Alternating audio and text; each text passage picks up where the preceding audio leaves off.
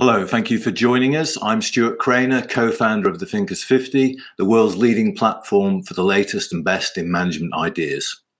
In November, we will be announcing the all new Thinkers 50 ranking of the world's leading management thinkers and the recipients of the Thinkers 50 Distinguished Achievement Awards. All the information about our event in November can be found at thinkers50.com. It would be fantastic if you could join us. We're announcing the shortlist for the awards over the forthcoming weeks and kicked things off with our shortlist of eight great leadership thinkers to watch out for and the people shortlisted for our Thinkers 50 Leadership Award 2021. And today we're delighted to be talking with one of our shortlisted leadership thinkers, Oleg Konovalov. Oleg is the author of the Vision Code, which promises to provide you with the blueprint to create and execute a compelling vision for your business. Oleg is also the author of Leaderology, Corporate Superpower, how to cultivate a winning culture for your business and, or, and organization, and Organizational Anatomy. So please let us know where you're joining us from today and send in any questions for Oleg whenever they occur to you. I'm, I will make sure they're passed on. Our format today is that we have 45 minutes. Oleg is going to share some ideas, and then we will have a conversation fueled by your questions. So, Oleg, the virtual stage is yours. Welcome. Stuart, thank you very much. Thank you for the great honor, and uh, I'm delighted to be invited. Very interesting. Uh, one of the most so often used phrases we can hear the board meetings at startups, pitches, and on in a daily business conversations. You must have a vision you know and we came to a point where vision is often considered as something meaningless and trivial. Uh, this is all wrong because vision is the greatest asset and single most powerful leadership tool uh, that we could have. There are millions of businesses which are meaningless actually and they shouldn't be established from a day one because leaders are not thinking about their business is meaningful. They're thinking about money, reports, but money can't buy meaning. And the difference between meaningless and meaningful and valuable for others is vision. I'm not what happened to me, I'm what I choose to be. We need to have this asset to make our lives uh, and businesses meaningful vision. We need to have a vision to master the future. And uh, vision, you see, allows us to define and live to our highest purpose.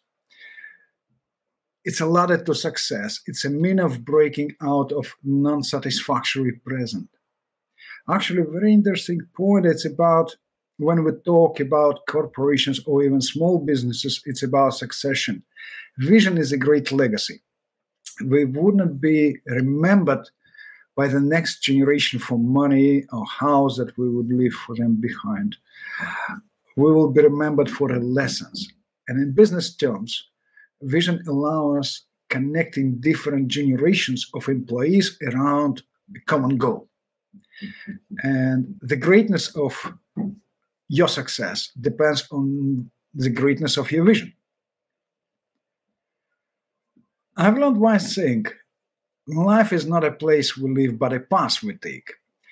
Vision defines a path to the future down the, which a true leader must lead others. So, vision is not a statement which we often assume, ah, that's just a statement nailed to a wall. No, this is a multi-dimensional space in the future that we create. And if we have no vision for for the business, or then we have no real purpose. And that could be found in many businesses across the globe, regardless of their size, industry, or country. People just nod their heads and uh, pay lip service to a vision without really buying it. But what vision is? Vision is aspiration for the future that we strive to make reality today. It's a future reality to, created today for the benefit of others. Here we have uh, a very serious problem. In my research, I came to a shocking fact that we're living in a time of leadership blindness. Less than 0.1% of modern leaders have vision. It's even actually less than 0.1, but I just rounded to 0.1 to make it a bit nicer. At best, the vast majority of leaders talk about personal ambitions, uh, some kind of a great result next year or something like that. So majority of leaders are not leading people into the future. They're in best scenario, they're leading people into the present. And many of leaders leading people just into the past, which is not good at all. And yet, you see, vision can be taught. But none, none of us were taught about vision. So far, it was quite a fizzy description. Uh, but vision is a process of creation. So we are all creators of our future. And when we create it, we, we would realize that vision is greater than an organization, is greater than a person himself. So it's not a statement, it's a force uh, that created within you, and it's powerful enough to change the world. How vision comes? Vision is vision comes when your conscious awareness of a problem you want to solve for the benefit of others reaches its peak. It doesn't come overnight. It takes time and effort. So it's not about, oh, we'll draft a vision statement during a board meeting. No. It's about where you would commit yourself and does it worth your full commitment? You will commit yourself fully and everything you you will do from that moment will become meaningful. This is a moment where you become wiser not just smarter. Being smart these days is not enough. We're all taught to be smart. Being smart is good but it's more or less two dimensional to live a meaningful life we need to be wise because wisdom is multidimensional. It's transferable to others. I could share wisdom, but I can't share my smartness. Uh, and it allows to finding greater solutions beyond problems. And just as a result, the world would be better. Vision grows from the deepest aspirations, which become a very focused solution to a great problem it's not just for a selected few, so gifted few. It's not a gift. The gift is only inability to be focused and think and work beyond the present. This is also can be taught. You know, it gives a tremendous practical value. For instance, you know, this famous uh, company WD-40 with this famous spray. Actually, with a mono product, their capitalization now is almost three billion dollars and every household uh, is having it. Every Formula One team. And uh, what I would say, wisdom always pays the highest rate. What is the cost of blind leadership? I had a conversation with the CEO of one of the largest IT companies not long ago. And he said, Look, we quickly learned that corporate politics would lead us nowhere in, unless into troubles. We need vision to succeed. And that was so powerful for me because even such a giants, they need to revise their vision all the time. What is the most challenging? You know, we, uh, we have a, an issue which I call the mind lock.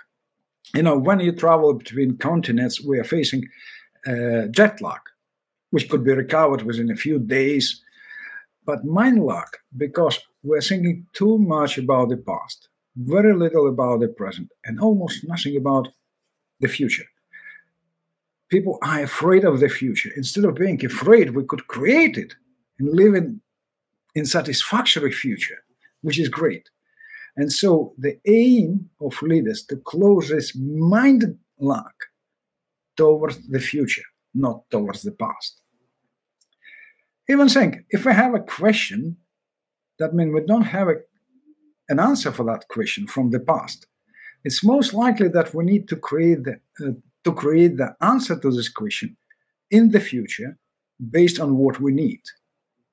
So visionary leadership is about future thinking.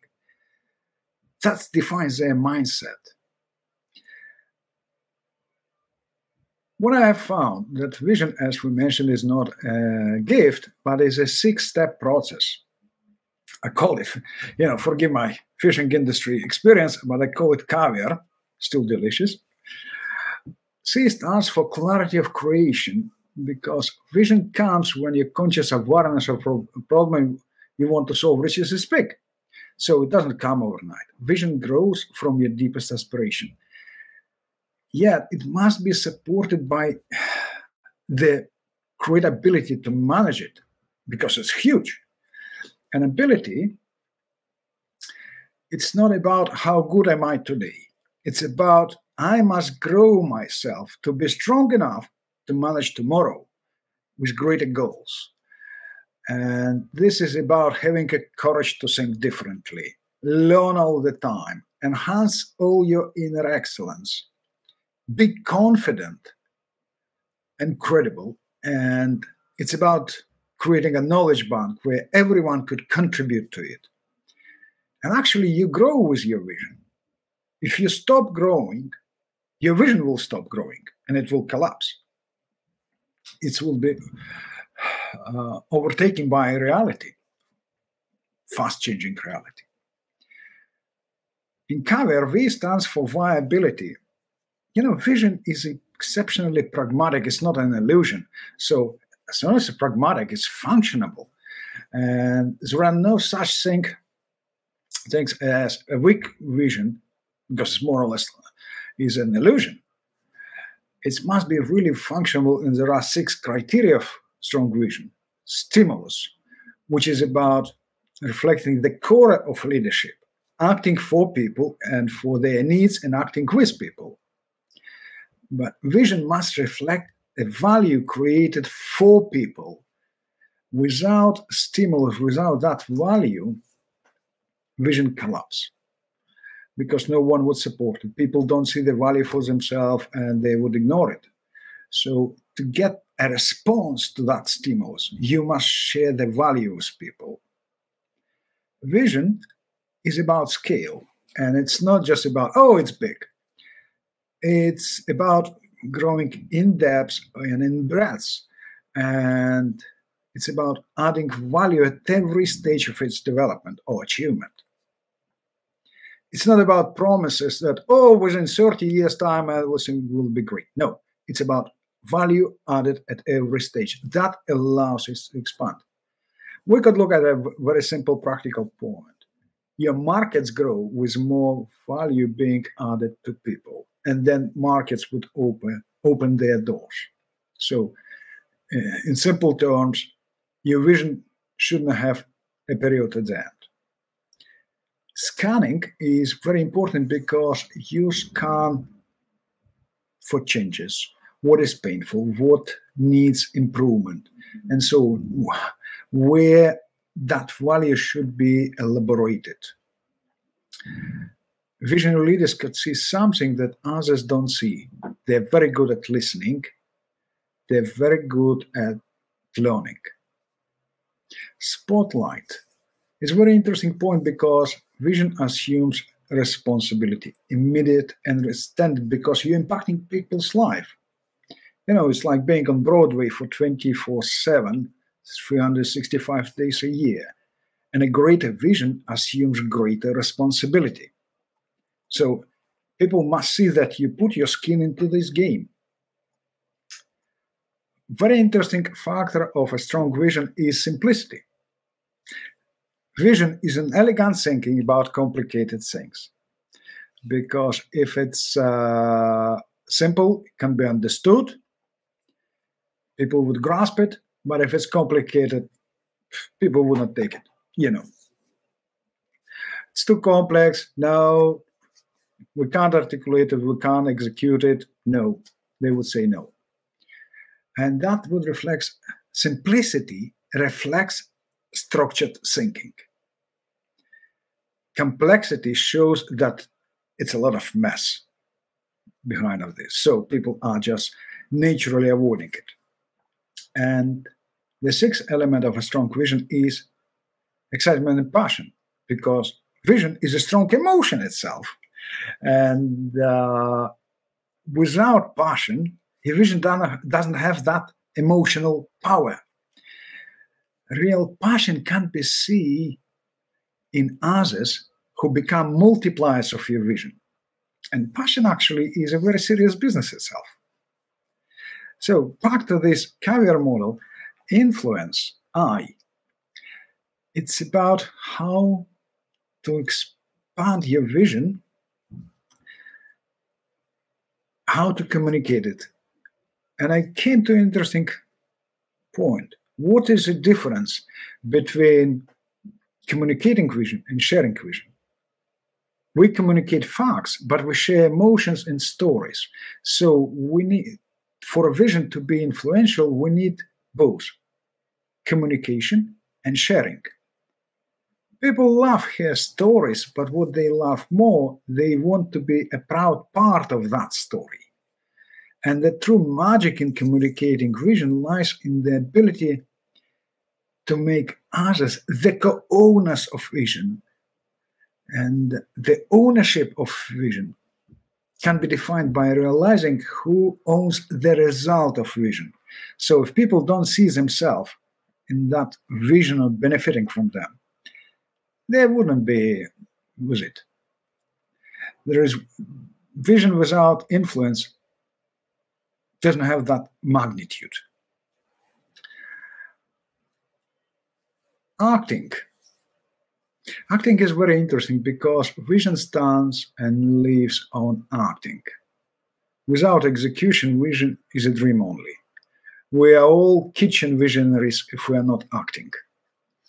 And it demands strong leadership, which is based on ability to maintain a strong corporate culture, excellent communication, focus and will, not only leaders, but his team as well. It's about enabling decision making and high quality and clear metrics of execution. Vision and leadership will be judged based on the leader's promises and people expectations. Therefore, it's not about pleasing people, it's not about consensus, but it's about delivering promises when you're taking people into that prosperous future. Revitalizing. You know, vision is not static, it's live. It must be revitalized. And so the higher we climb, the further we see, we see more opportunities, we're adding more life, we're adding better meanings. It's like movie or a novel. At every stage, it's a sign to be continued. If it's if you achieve something and you will rest in this comfort zone, your vision will die. That happens to many companies. Those were very successful at a certain point. Nokia, BlackBerry, Kodak. They relaxed in the comfort zone. Intel these days having a lot of troubles uh, because they assume they were very successful before. They're challenged in a big, big way. So it's about revitalizing your vision and grow further. What is important to consider? Vision doesn't have gender, race, or nationality we need and value all talents and qualities for a vision to grow and be executed. So I need all hands on board. And I have experience of working with people across the globe, and almost 50% of of my clients and participants on the course are women. People of different age, educational background, corporate roles. They're all there because they want to change something beyond themselves. So, vision is the greatest asset that any organization can have. And vision defines our evolution. Vision defines evolution of our businesses.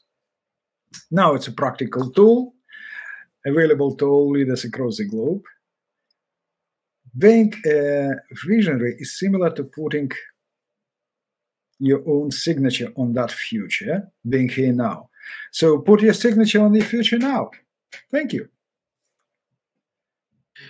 full, full, full of ideas as always. Some, some great lines in there as well. And thank you everyone for joining us. We've got people from Nigeria, Poland, India, the United States, Belgium, and even uh, Veronique Jones from the capital of the world, which we know to be Manchester. Uh, so thank wow. you for joining us. Uh, please send in your your questions if you have them for Oleg on anything to do with, with vision and leadership, and uh, he will be sure to answer. And here's, a question from Ola uh, Valika in, in Poland. How can we avoid the danger of falling for a vision of a charismatic but poor leader? I mean, I suppose that's the the archetypal archetypal criticism of vision. It can be used by uh, malevolent leaders uh, to achieve their uh, mistaken uh, objectives. Or I believe it's a bit of that question is a bit on a cross line. Because what happens? You can't be a leader if you don't act for people. If you're a poor leader, you're not acting for people, so your your vision wouldn't be a vision; it would be more of, of your personal ambitions, because you don't see people in your vision. You don't create value for them, and so your team wouldn't be engaged. Your team would be just in under command. That would be a, a bit of a difference. So, leadership, what we could say, can I improve to become a better, a stronger, visionary leader? But the main term, do you see people, or is it driven by your ego? Ego kills vision. So poor leadership is driven by ego. That kills vision. So it's just a statement. Oh, I have a vision. How you could prove it? Can you run it through this? I have that vision viability test, and it will fail in the first instance on stimulus because very little for people. Yeah, an interesting point from Anshuman Tiwari, who I think I think has met it met you previously. Um, for organisational su success, vision needs to be shared as as well. So how do we ensure we have a shared vision? Because there's kind of two things you, you said, Oleg, that um, vision is a isn't a matter about a consensus. No. At, at, the same time, how, how do you share? Uh, we could see a value for everyone, you know, or that value can be viewed from different angles. You know somebody saying yeah that would makes my life better. Here i could see a huge cause why i should do this because it's a lot for society. So everyone could see that vision from different point. Therefore leader must talk to everyone and listen not just declaring or sending corporate messages you know, tapping keyboard. No, it's about being fully involved with people, being with them and listen to their response. It's about that eternal loop of feedback. We're exchanging meanings and we're co creating a joint meaning that we all would fight for. We will commit ourselves. I suppose leaders are sucked into believing if if they have if they have a vision, they don't need to listen. And that is totally wrong because all visionaries I know, they're very good at listening. Uh, it's mainly assumed that great leaders are great learners. Yes, but the first, they're great listeners. If people are not listening to you, and I came across many of such leaders, if they're not prepared to listen, they're left alone they don't know a reality. They're not grounded to a reality. You can't learn without listening. You can't be grounded to a reality without listening to people.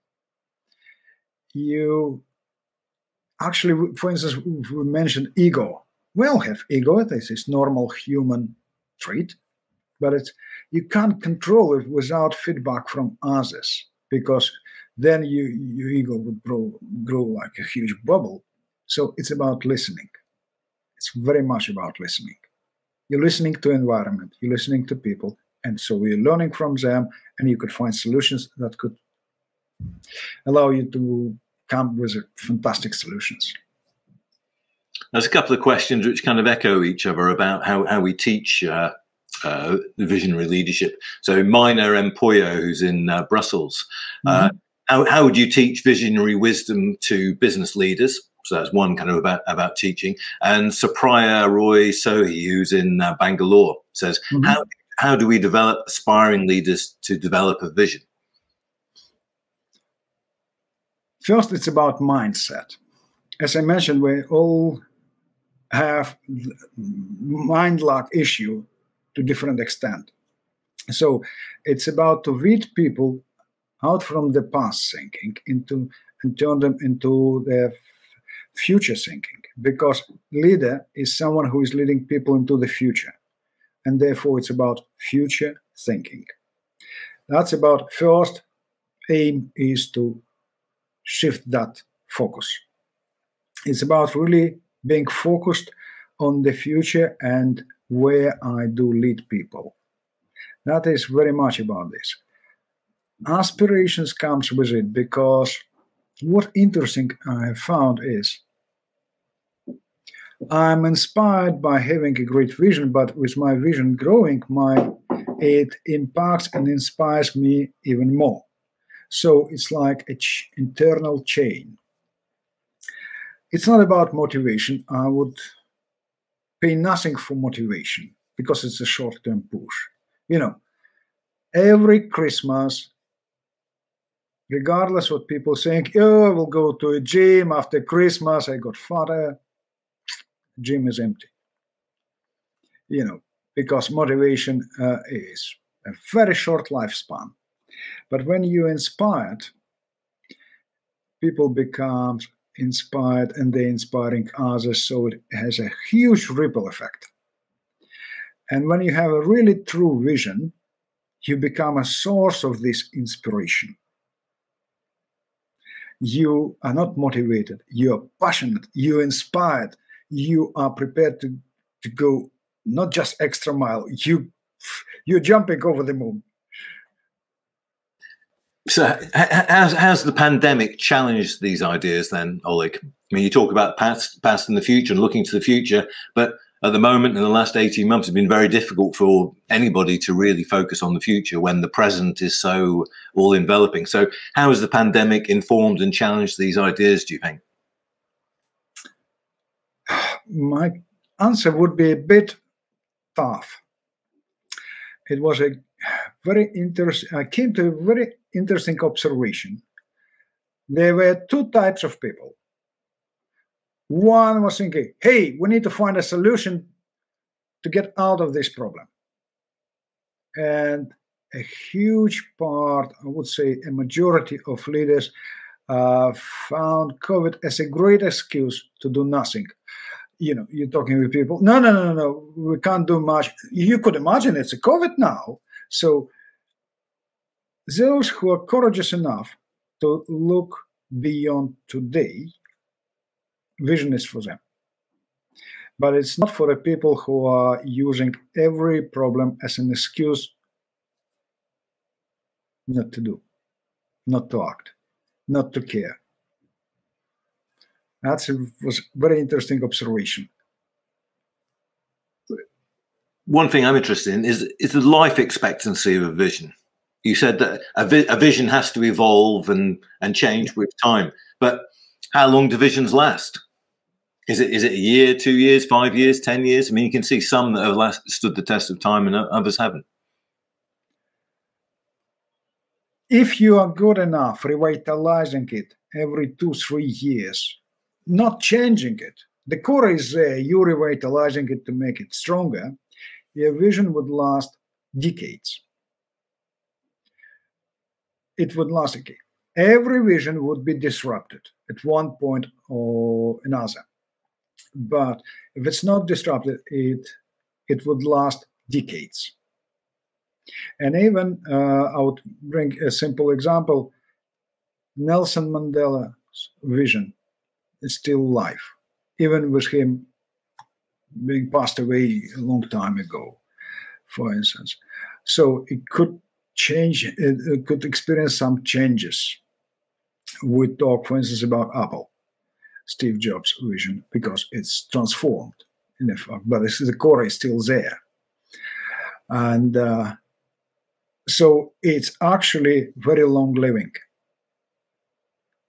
It the companies we know that one company is losing standards and poor's 500 list every week why? Because they are short of funds? No they have a lot of resources because they're losing their vision. So if you're losing your vision if you're not renewing it it becomes redundant. So it's that appetite for constant renewal. Absolutely, absolutely, because we add new meanings, we add new energy to it, and it's we inspire further. Actually, it's about very interesting point I have observed.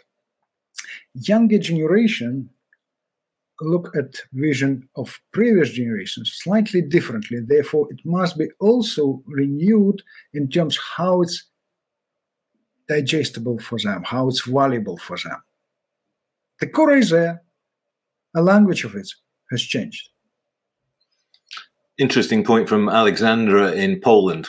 How does a company's purpose translate into a vision? Meaning, purpose is one of those words that's that's used a lot yeah. in, in, this space. I think there's kind of uh, it's, it's it's good to have some clarity about what the oh, difference yeah. between a purpose and, and a vision.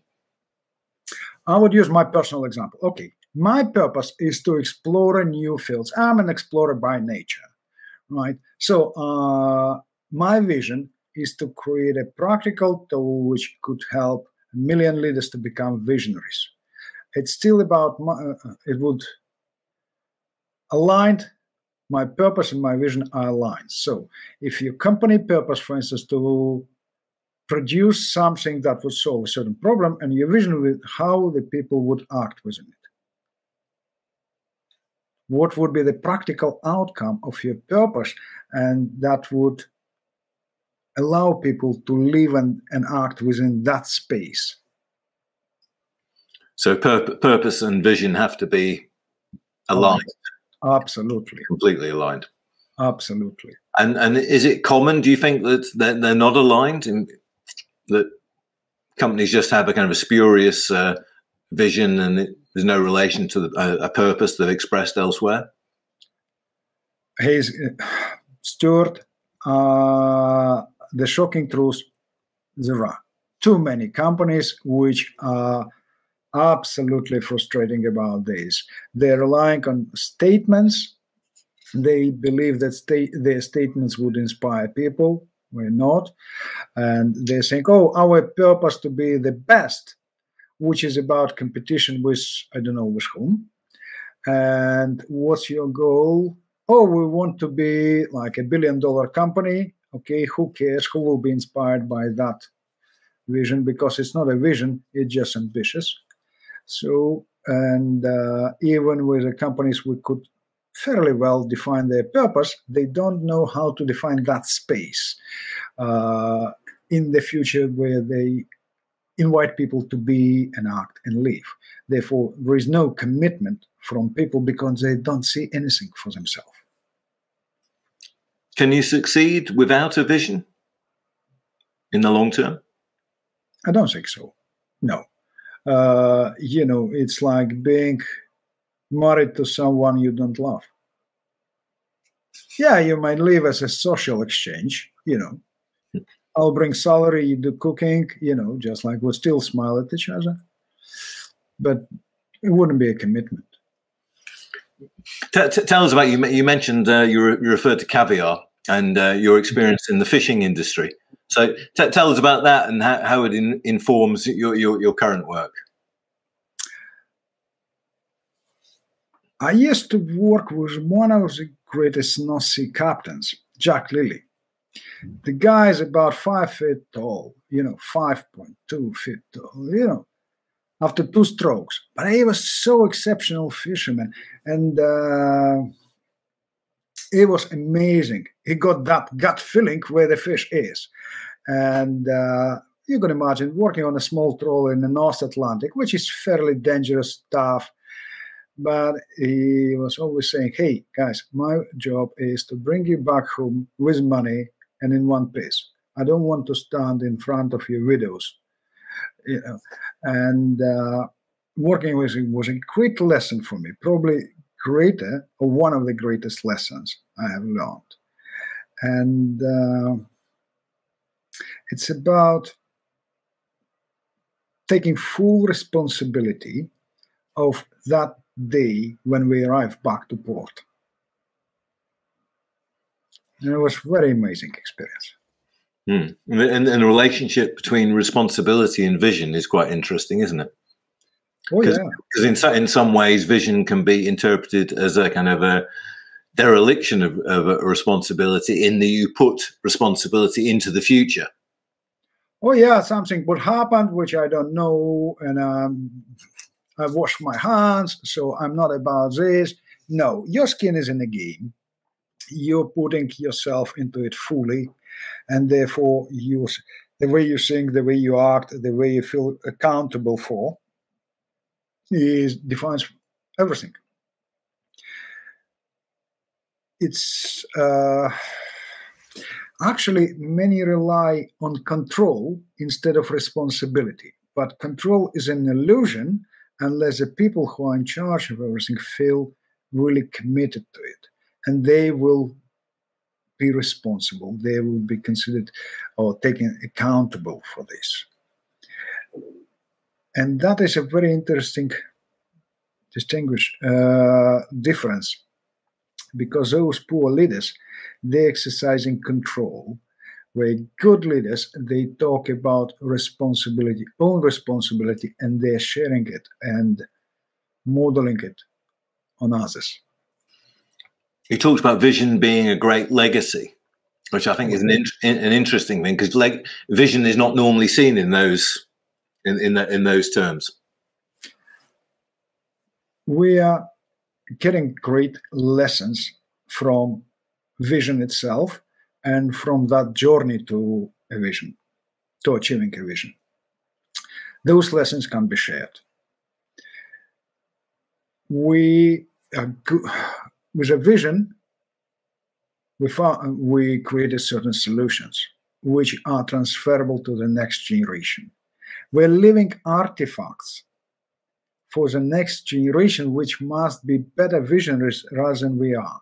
It's not about insisting the next generation to repeat our mistakes. It's about helping them to create solutions which are beyond them. And that would define human evolution to some extent. So you talked about leadership blindness. it's a nice way. Just tell us a, li- a little bit more by what you what you mean about leadership blindness. I think we, we I think we've all got an idea what it is, but what, what, what, what do you what do you think it is? Yeah, that's Stuart. It's very interesting point because, uh, well, uh, I was brought up in the former Soviet Union with all these communist propaganda promising us something like we would live in a bright future. I don't want to see that bright future. You know, I want to see a real result because it's not about promises. It's about real change, real improvement. And unfortunately, uh, too many leaders, they're not showing that difference. They're just trying to promise something that's actually either non achievable or nonsensical. They're very simple. They're just blind in terms of how to lead people into the future. And I don't need a leader to lead me into the present. You know, I don't need a captain to stay in a port. I need a, you know, I need someone who would help me to cross that sea, rough sea. And this is where blindness comes in because those many too many leaders are simply blind you start talking with leaders okay what's your plans for the nearest three to five years?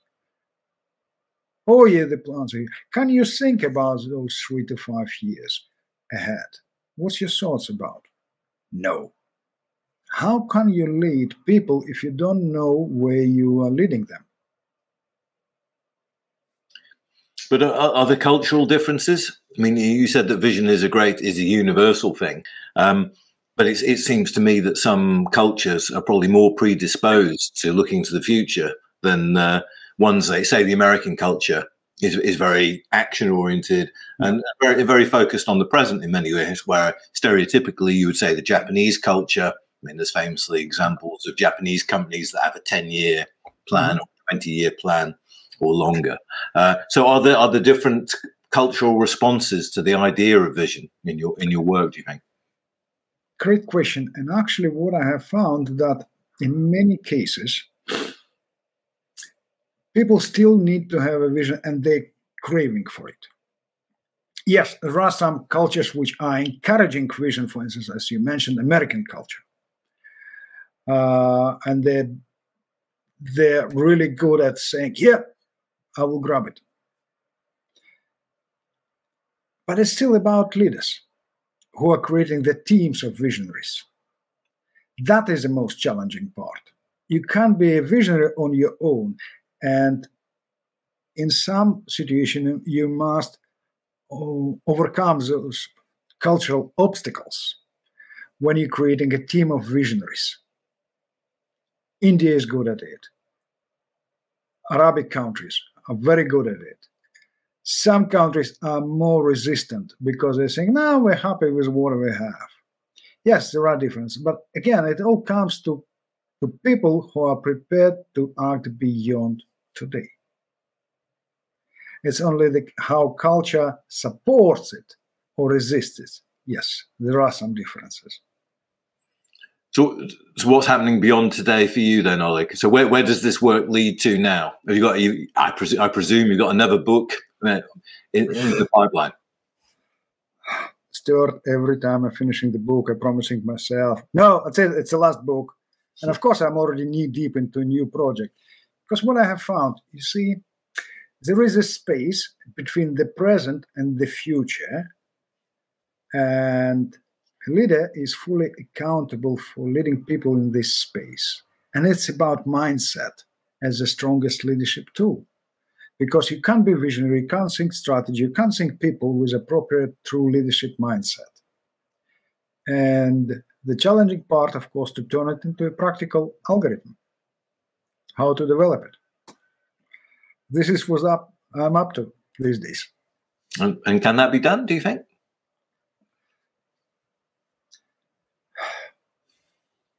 I wouldn't say that would it would be the final solution, but if it would help people in the nearest future to become stronger and find the next solution, I will be really honored and blessed. And go back, remind us again. You, you talked about briefly about what your your personal vision is. Just just just go back to. I want to create a million visionary leaders across the globe because they would impact another millions of people, and that could because it's about helping people to become solution finders, not problem solvers. Yeah, it's, it's just an, it, it is a very different way of looking at the world, isn't it? Absolutely, absolutely, because we're all problem solvers. You know, we're kings of the problem solving, but it's about solution finders, how to create them, how to help them to grow, and they would make it, that world different a, a, a great vision. Uh, I can recommend the book. Uh, oh, the, the, Vision Code. I even I was just showing you that uh, I have my copies close to, close to me at all times. Oleg, uh, check out Oleg. How, can people find out more about your your work, Oleg? Oh, they could go on my website olegkonovalov.com. They can find me on LinkedIn. I'm always happy to respond uh, to, to messages, and uh, they could look at my book, The Vision Code, and if clicks. Uh, cool. I'm happy to chat. Thank you. Okay, Oleg Konovalov. Uh, recommend his book, the, the, the Vision Code, and check out Oleg's website if you if you want to know more. Um, we look forward to his work, his forthcoming work uh, as well. Uh, thank you all for joining us from around the world today. Uh, next week, we'll be joined by David De Cremer, who's one of the people who's been shortlisted for the Thinkers 50 Digital Thinking Award for 2021. So, Oleg, thank you very much. And thank you, everyone. Thank you very much. Thank you. Thank you.